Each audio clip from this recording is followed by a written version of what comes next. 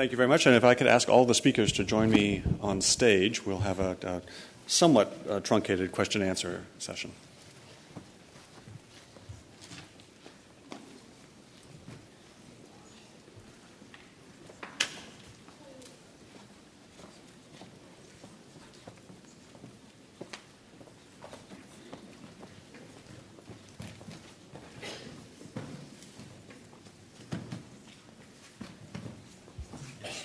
Let, let, me first let me start out by thanking all of the, this morning's presenters for what uh, proved to be a very uh, encouraging and educational and interesting uh, session.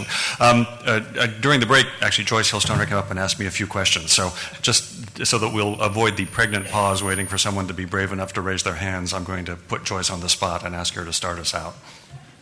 Well, I have two questions. Uh, maybe there's only time for one, but I guess the one I go first with is looking for Mr. Kozlowski and in absentia Marion Mecklenburg and possibly in present Merv Richard, um, the trustworthiness of making assumptions about little young blocks of wood and with recent gesso and recent paint. Luckily, Merv talked about using older samples, but how much can we really trust how that reacts uh, compared to large, thin, uh, fragile uh, panels with much older layers of gesso and paint. And, and I know a lot has been made of the relaxing of the climate control parameters due to some of these findings and just wonder how trustworthy is this assumption.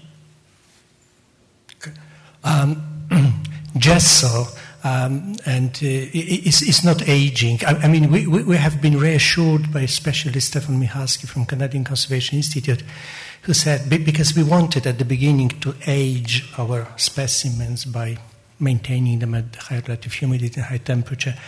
But, uh, but, but the, the experts, uh, especially Stefan, told us that, that historic gesso is very stable and there will be very little difference between aged and, uh, uh and uh, new, new, new gesso. So that's the short answer.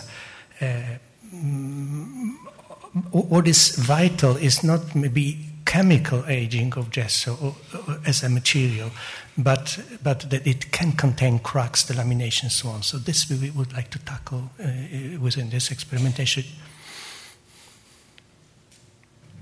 I, am more concerned, I suppose, with the wood. Young blocks, young small blocks. Yes, but rather than large, thin, yes, elderly panels. But uh, the, the young wood was uh, just used as a, as a support to which we apply dimensional change, strain.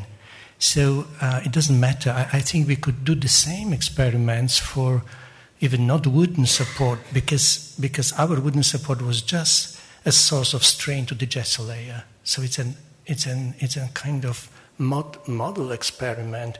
Now, uh, we believe, I, I think people doing wood research uh, uh, would believe the dimensional response of old and new wood is very similar. I mean, uh, I've tested uh, many uh, historic wood specimens, and I don't find uh, the absorption properties and dimensional change properties very different from seasoned new wood. So it can be mechanically very different. It can be damaged by, by some cracks, by, by biological infestation, and so on. But, but as a material, it, it doesn't differ much with time, at least to, to, to, to, to what I find in literature and what I measured. Um, and I can't actually answer your question, Joyce, but what I can tell you is that I have the same, I share the same concern that you raise with the latter regarding wood can't, I'm not involved with gesso. Um, and uh, um, about a year, no, I guess eight months ago, um, actually with colleagues in Japan, and also I've been talking to Marion Mecklenburg. Um, once I finish my silica gel work, my next project, um, which is sort of already underway, is an investigation of old versus new wood in terms of equilibrium moisture content issues as a function of temperature and humidity, as well as dimensional movement. And all I can say is in my research, I always use old wood, whether it's necessary or not, just because I'm not sure. I mean, Nate, Richard Buck said years ago that there's no difference between old buck wood and new wood. But I've long been one to challenge what people say like that, so we'll see. Uh, Giorgio, let's ask.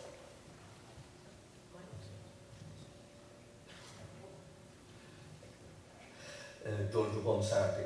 A couple of years ago, Leonardo da Vinci's Annunciation from the Uffizi Gallery traveled to Japan, and his movements were uh, monitored and recorded through a data logger, which seemed to show that uh, stresses occurred during handling, not during the travel itself. Uh, which would support the choice of the National Gallery of London, as we heard in uh, Maryan Ainsworth's excellent talk this morning, not to lend ambassadors by Holbein to the Tate Gallery. So my question is, according to your experience and opinion, is distance a parameter to be taken into account or not? Thank you. Is that directed towards a person or the general panel? Anyone want to leap in? Um, I guess I'm the transit person here. um, anyway, uh, I totally agree with what you just said in terms of where the problems um, are seen. And I've been, as most of you know, involved with the transit issues for a long time, and we too have often monitored exactly what's going on. Um, and in essence, what I try to tell people is once you get it into the packing case, I'm not worried, as long as it's properly designed packing case. Um, the issues um, really have to do with all of the handling that's involved, the hustle and bustle of ex- exhibition activity. Um, and potentially the two environmental issues would, would be limited to lending to another institution with a dramatically different environmental condition than you have. Um, or I still worry about long truck transports through Russia in the middle of the winter when temperatures could drop severely to very low levels, and if the vehicle does not have a properly heated cargo area. That I worry about. What happens in airplanes, I don't worry about. What happens in the typical um, air ride suspension truck, I don't worry about. Hi, Susan Blakney for Westlake Conservators. This question is in general for the panel. Has anybody used any of the commercially available scavengers that in their climate control framing, such as, I can't remember their names, but there's one that's a charcoal filter that comes as a, pa- as a paper. It also comes as a paint. And there's another that was introduced last year at the vendors that was a copper-colored polyethylene that's a scavenger for acidity and VOCs. And we've been using them in paper framing, so I didn't know if anybody's been using them in microclimate framing. Um, uh, I have uh, never used it myself. I, I haven't uh, actually been designing so many microclimate frames personally, uh, but I must say that I'm very um, resistant to use of scavengers in in very confined uh, enclosures. I don't really believe they do a lot of difference. As you saw from uh, this model, I showed first the room and then the small enclosure.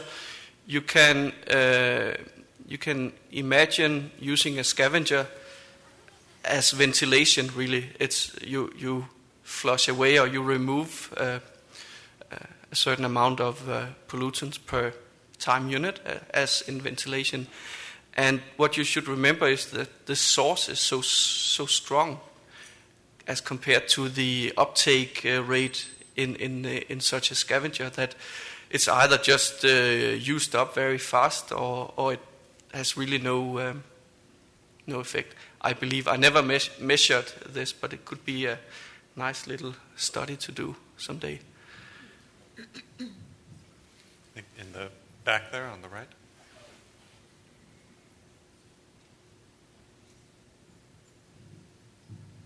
I have a question about the speed of uptake for the VOCs and uh, the in- inside the microclimate boxes, which speaks to the whole question of whether you use them for duration of low and longer term. And I didn't get a sense of that from, from the talk about how long it took or might take roughly to, to reach these maximum levels that you were mentioning.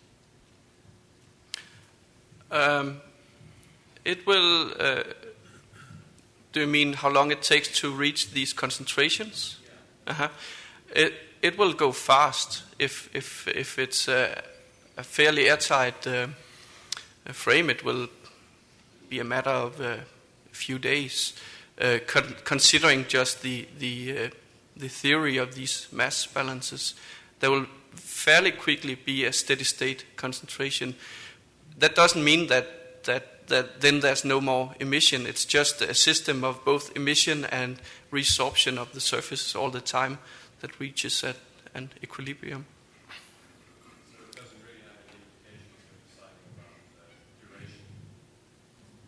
Sorry, so it doesn't really have any implications for thinking about the duration of the, the sealed environment in your view?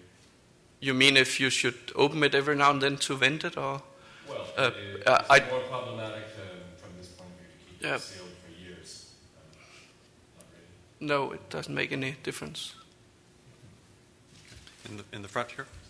My name is Harry Howlett. I'm a wood conservator, and I uh, address this to Roman Kozlowski. Um, I uh, certainly share some of, some of Joyce's concerns and some of Merv's concerns, but I have another concern, and that is I, I have difficulty understanding how um, a simple mechanical test could be analogous to what what's going on when a, a panel painting experiences uh, tremendous fluctuations in relative humidity. I mean, there's so many issues that, that uh, you know, make it a much more complex situation. You mentioned the equilibrium moisture content, but there's also the fact that the physical properties will vary for any Absolutely, yes. a given relative humidity. Uh, there's also the issue of, of just the, uh, the fact that when you have a panel painting um, uh, swelling, um, there's a lot going on there. It's not just simple tension. That is, you've got certain materials under tension, but you've also got uh, the wood fibers being restrained by the less responsive mater- materials that they're actually under compression. And uh, convert, well, at the, same time, when the, the moisture is then desorbed, um, if the wood has been plastically deformed, it's, it's put in tension when the panel painting then shrinks back down to size. So it, it just seems to me, I, I guess my question would I agree. Yes, I comment on it. Yeah, uh, mm, intend to, to it is. Yeah. use this as a starting point and then go on to do the testing uh, Y- y- using relative? Yeah. Uh, f- first, I would like to go back to, to, to historic versus, versus laboratory prepared specimens. Of course, as, as I mentioned, we would like very much also to test, uh, to complement the, the laboratory testing with some historic samples, which we can use for destructive testing. So we're very much aware that we should have some bridge between, between original uh, on, on wood and, and uh, uh, laboratory specimens. Just we, we need standardized laboratory material to start the work. But, but concerning it is a simplification. Yes, you are very right that uh, uh, we doing mechanical uh, testing. We just put put gesso, strain the gesso or compress the gesso, and we don't alter its physical properties because we don't change relative humidity. It's at constant relative humidity, like 50%. But there is no choice, as I mentioned, to cycle uh, a specimen imitating a panel in microchromatic chamber would require, you could do probably mm, a few cycles per month, which, which, which, which will not bring you a fatigue function, so we pay some price. Um, simplifying the experiment, but get a lot of valuable information. But we would like to repeat that experiment at, at different relative humidities. So, of course, you, the average value you will have. So, so you, you will see the change in the properties with changing relative humidity, but will, you will not have, as you say, the full uh, interplay between properties, relative humidity cycles, and so on. It, it does seem to me that, I guess I would submit that the only reason that your results have go along with what Mecklenburg and Tumosa came up with would be the fact that the gesso is probably one of the least responsive materials that you've got in the panel painting structure, so you essentially were testing the gesso, and the fact that it uh, is, uh, you know, the, it, it just seems to me that that would make sense for the gesso to respond pretty much the way Mecklenburg and Tumosa would predict in a mechanical test, um, whereas certain of the other materials would not respond that way. Mm, you mean, uh, I mean, this test was limited to a very well defined case. We have freely expanding and uh, contracting wooden support and we look at what happens with physical method, what happens to the gesso layer. We believe that gesso is imitating well the historic gesso because from all we know and from especially advice we've got, uh, gesso is not aging uh, significantly. The properties of historic gesso are not very difficult from equilibrated modern modern produced gesso and so on. And that's the limit of the experiment. I agree. And then, yes, we effectively were just mechanically testing gessos in this experiment and then looking when damage appears with uh, precise methods. Okay. Thank you. I think Arlen, you've got a comment. Um, this is also a comment directed to Roman Kozlowski. Um, first, I want to thank you for doing such rigorous work on this subject. It's, um, it's great to see it from the beginning. Um, I did want to say that uh, one observation um, about the natural pattern of cracking in panel paintings is that you often seem to get cracks that are perpendicular to the grain direction.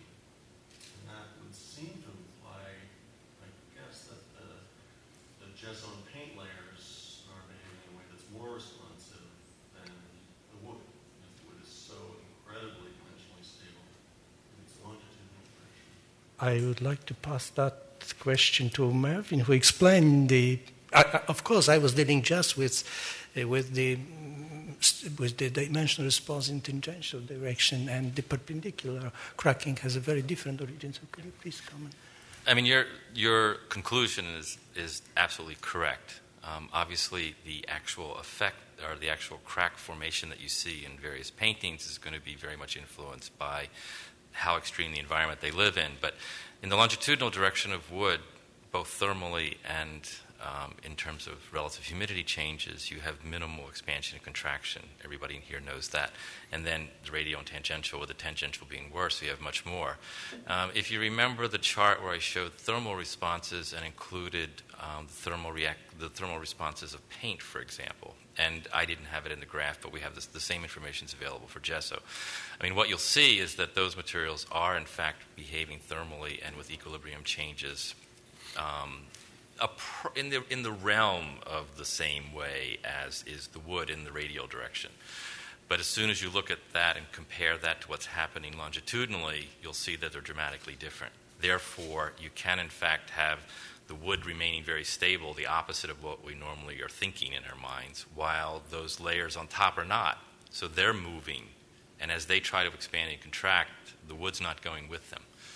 Um, so that all fits in with what your general conclusion was.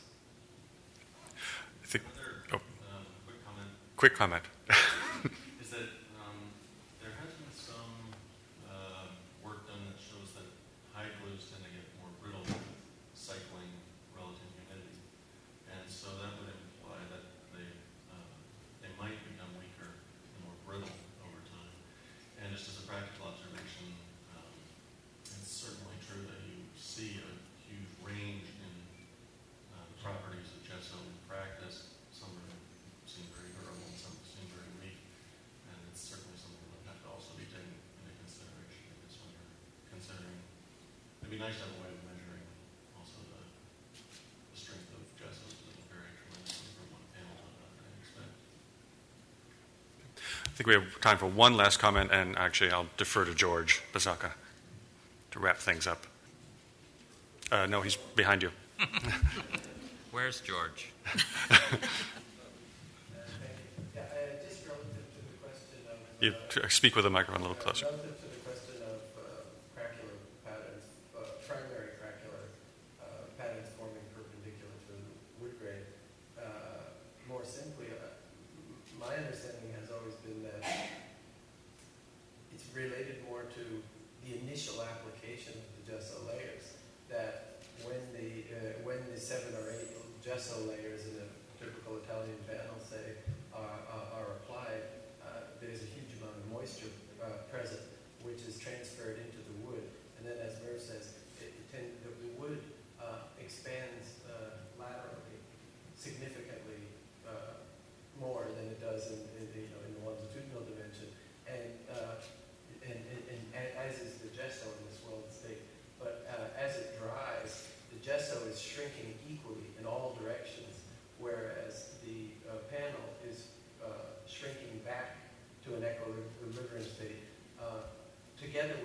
so in one direction and, and, and, and without any movement in the other direction.